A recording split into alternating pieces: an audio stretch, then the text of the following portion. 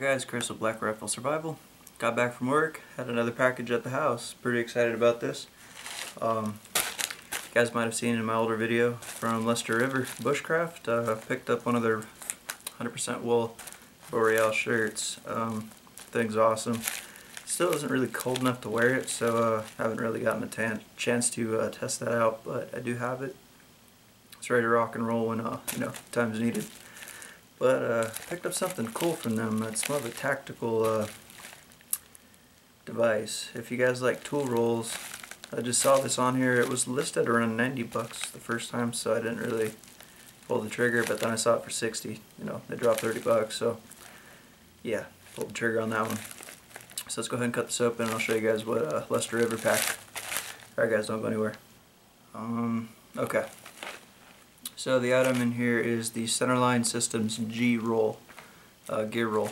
So let's go ahead and cut this open and uh, take a look at the contents. Now they have a few different colors. Again with the pricing, I swear I saw it at 90 $90. 60 bucks was perfect for me. Um, but I chose the coyote pattern obviously.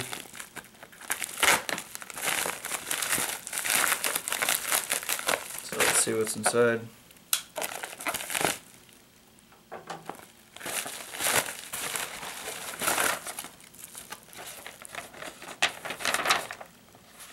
Okay.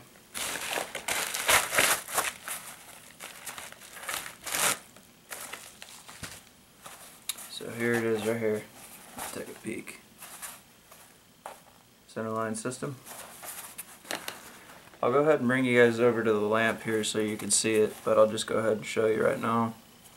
Um, from what I'm seeing, it's got a carry handle up on the top, uh, single stitching, and then you've got crossweave stitching five ways on each end, or the anchor points. It does have an adjustable buckle for your size, which is cat or dog-eared, kind of like paper in a book in school dog-eared tag so it's going to keep it from slipping out which is pretty cool. I like that. Um, let me go ahead and completely pull that out I think. Or not. But it breaks down to a pretty cool package. You've got a large pouch a bunch of MOLLE compatible uh, stitching uh, I forget what these are called, just the straps here, they're all MOLLE compatible. The pouch on the inside. Is Velcro, pretty deep pockets, got something on the inside, ah, comes with four uh, bungee, bungee cables here with uh, adjusters, so you can fix that, but uh, I've already noticed that these are not tied off on the end, so these can slide off. I would tie a knot so that doesn't come out. Well, actually, it doesn't really matter because it'll go both ways. Regardless, here's the system. Let's go ahead and bring you guys over so you can see it now. Yeah, so you can see centerlinesystems.com. This is, again, uh, covering up my information. This did come out of the Lester River Bushcraft from Duluth, Minnesota. So, as you can see, there are these straps here and you've got the dog-eared stitching so you can feed that through when your uh, roll is all full. Here's the carry handle unfolding it. So I don't have the exact dimensions but it looks to be about maybe 15 inches lengthwise. So you can see and maybe a foot tall in the width.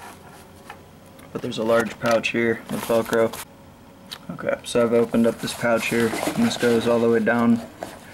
So you could probably throw maybe a, I don't know if my Gerber shovel would fit in that. That'd be kind of tight.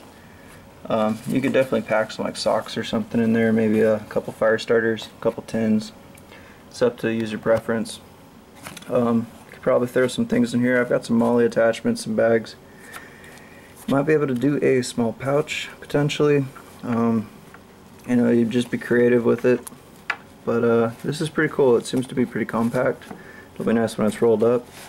Now I didn't really see any way to mount this to a pack. So this is probably something you just keep on the inside of your bag. To be perfectly honest. If I could make one recommendation, I'd probably attach MOLLE to the back of this, so at least this could maybe be mounted to a bag or on the side pouch or something like that. But uh, so far it's pretty cool. Now this does have the large Velcro panel on the front for your patches, morale patches, blood type, whatever you want on there. And again, let's go back to the stitching. Pretty decent there. Single stitch. I forget what this pattern's called, but looks like the reinforcement's pretty good. So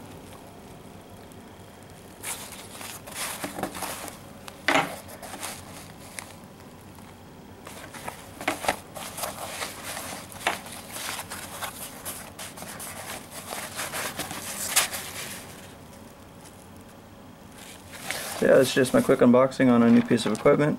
I'll be uh, attaching some things to it. I've got a couple Maxpedition pouches, some VanQuest stuff I uh, need to get put together. It was supposed to be for my 2016 bug out bag. Never got around to it, of course. Uh, it's 2017 now.